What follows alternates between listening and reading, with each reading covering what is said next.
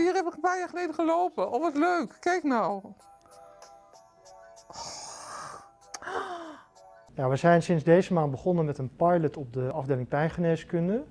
Waarbij we voor patiënten die zijn opgenomen met onder andere veel pijnklachten, eh, dat we hun een VR-bril kunnen aanbieden. Een VR staat voor Virtual Reality. Mensen krijgen een bril op en kunnen ze eh, op die bril eh, verschillende dingen doen. Bijvoorbeeld filmpjes kijken of spelletjes spelen of begeleide meditatie. Waarbij ze zich eigenlijk ergens anders wanen dan in het ziekenhuis. Kijk maar eens om u heen. Kijk maar eens wat u, eh, wat u allemaal ziet. Oh, geweldig. We zijn deze pilot gestart om te zien of bij patiënten met pijn eh, de pijn ook minder kan worden bij het gebruik van zo'n VR-bril. Eh, en daarbij hoop je ook dat het helpt bij ontspanning eh, en ook een stukje afleiding.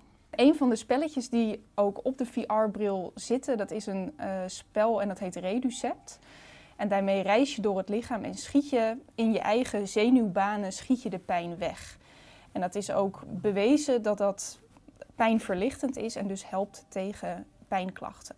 Wij denken, en dat laat onderzoek ook zien, dat het voor de pijnbeleving heel goed is. Dat de pijnbeleving minder zal worden als we zo'n bril opkrijgen. Maar het kan ook gebruikt worden voor angst of voor eenzaamheid of verveling.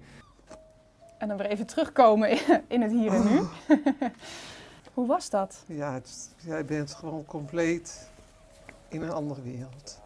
Je gedachten, alles is weg. Je bent echt in die wereld. Ja, ik vind het echt fantastisch. De eerste reacties zijn heel goed. Eh, mensen vinden het leuk om de bril te zien en te ervaren.